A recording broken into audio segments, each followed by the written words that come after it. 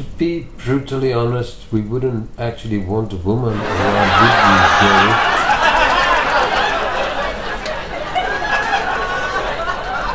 A game of squash isn't simply a game of squash.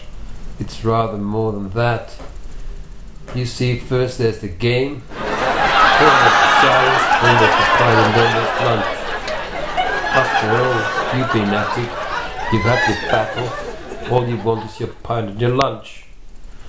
You really don't want a woman buying your lunch. You don't want a woman within a mile of the place, any of the places really. You don't want her in the squash court.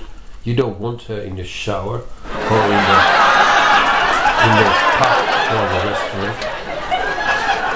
You see, at lunch you'll not talk about squash or cricket or books or even women to your friends and be and be able to open your theme and uh, without fear of improper interruptions.